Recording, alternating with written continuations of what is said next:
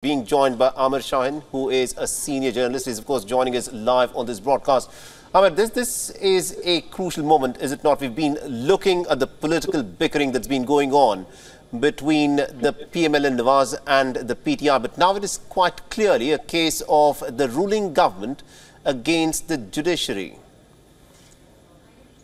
Yes, uh, it was. It started with economic problems, then it became security problems, then law and order problems, and then the food crisis, and then political crisis, then international isolation, natural disasters, and then we had the constitutional and the judicial crisis uh, in Pakistan, and also the crisis of holding an election, which the Election Commission of Pakistan and the government and the security forces, the police and the military, everybody is saying cannot be held according to the demands of the Supreme Court, which echo the demands of uh, former Prime Minister Imran Khan, who is known as the Ladla or the favored one.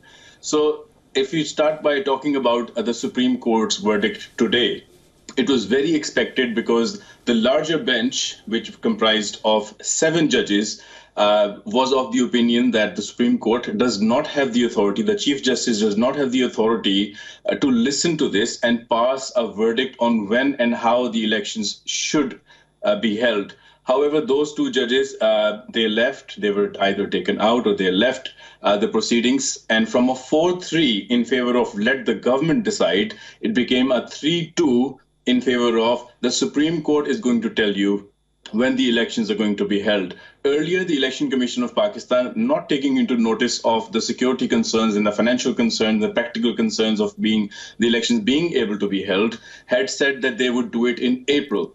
So right now, uh, and then later on, they said due to practical concerns, it would be October 8th instead of 30th April when the elections can take place. But the Supreme Court has held the Election Commission, uh, right. uh, their order unconstitutional. They've quashed it and they've said, no, you have to hold the elections uh, no matter what on 14th May, right. which is right around the corner. Absolutely, indeed. It is a pretty big crisis which the Shehbaz Sharif government seems to find itself And Thank you very much indeed, Amir Shahin, for joining us and getting us those insights. We'll, of course, be tracking this story very, very closely indeed.